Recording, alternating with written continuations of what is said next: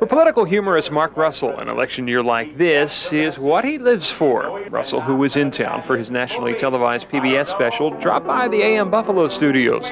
He says this is a presidential election where the vice presidential candidates are in many ways more appealing than those leading the tickets. You look at Cheney up there next to Gore, or Bush, and it's so obvious. He's older, he's more mature, he's more seasoned, and I thought, God forbid anything happened to Dick Cheney and George W. Bush becomes president.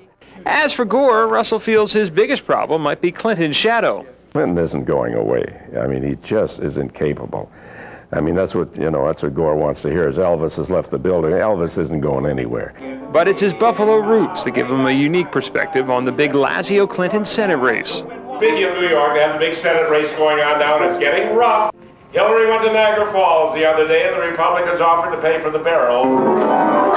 One thing that surprised Russell about this race was a year ago he predicted Hillary would get a warm reception up here. Well, it didn't turn out that way, did it? Her worst moments have been in Buffalo. Uh, I don't know what her memories of Buffalo are going to be after this. Is uh, it was just the opposite. You thought, well, stuff like that's going to happen in, in, in, in New York City or uh, the, the worst bashing will be from the New York Post. But uh, I don't know.